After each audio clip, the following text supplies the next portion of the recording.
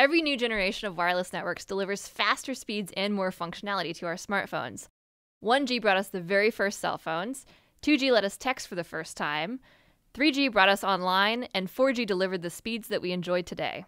But as more users come online, 4G networks have just about reached the limit of what they're capable of at a time when users want even more data for their smartphones and devices. Now we're headed toward 5G, the next generation of wireless. It will be able to handle a thousand times more traffic than today's networks, and it'll be up to 10 times faster than 4G LTE.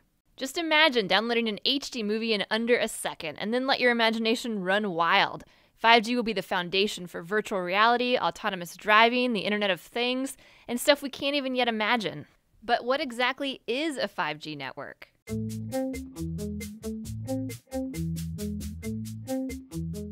Truth is, experts can't tell us what 5G actually is because they don't even know yet.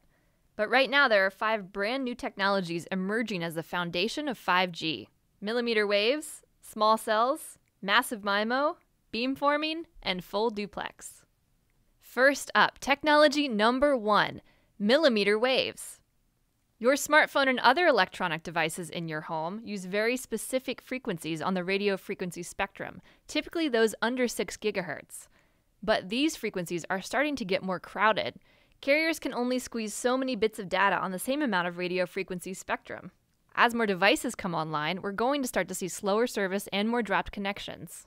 The solution is to open up some new real estate. So, researchers are experimenting with broadcasting on shorter millimeter waves, those that fall between 30 and 300 gigahertz. This section of spectrum has never been used before for mobile devices, and opening it up means more bandwidth for everyone. But there is a catch. Millimeter waves can't travel well through buildings or other obstacles, and they tend to be absorbed by plants and rain. To get around this problem, we'll need technology number two small cell networks. Today's wireless networks rely on large, high powered cell towers to broadcast their signals over long distances. But remember, higher frequency millimeter waves have a harder time traveling through obstacles, which means if you move behind one, you lose your signal. Small cell networks would solve that problem, using thousands of low power mini base stations. These base stations would be much closer together than traditional towers, forming a sort of relay team to transmit signals around obstacles.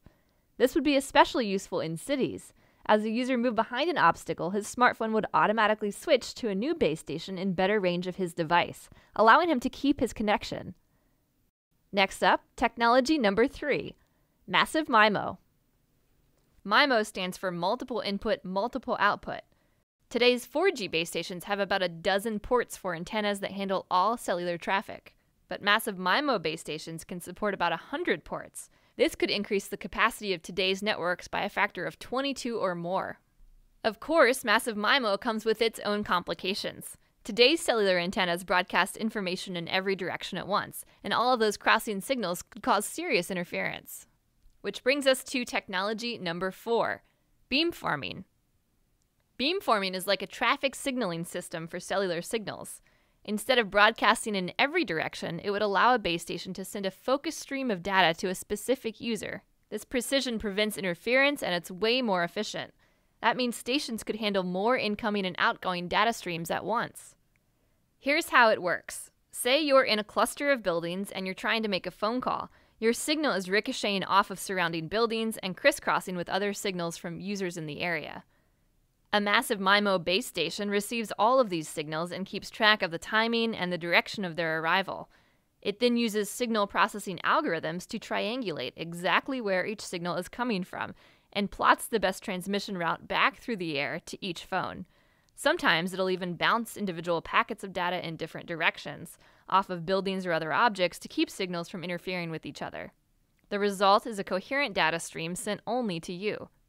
Which brings us to technology number five full duplex. If you've ever used a walkie talkie, you know that in order to communicate, you have to take turns talking and listening. That's kind of a drag. Today's cellular base stations have that exact same holdup. A basic antenna can only do one job at a time, either transmit or receive. This is because of a principle called reciprocity, which is the tendency for radio waves to travel both forward and backward along the same frequency. To understand this, it helps to think of a wave like a train loaded up with data. The frequency it's traveling on is like the train track.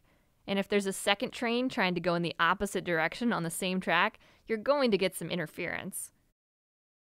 Up until now, the solution has been to have the trains take turns or to put all the trains on different tracks or frequencies. But you can make things a lot more efficient by working around reciprocity. Researchers have used silicon transistors to create high speed switches that halt the backward roll of these waves.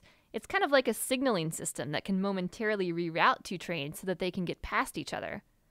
That means there's a lot more getting done on each track a whole lot faster. We're still working out many of the kinks with millimeter waves, small cell networks, massive MIMO, beamforming, and full duplex. In fact, all of 5G is still a work in progress.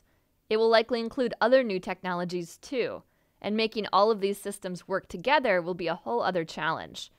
But if experts can figure that out, ultra fast 5G service could arrive in the next five years.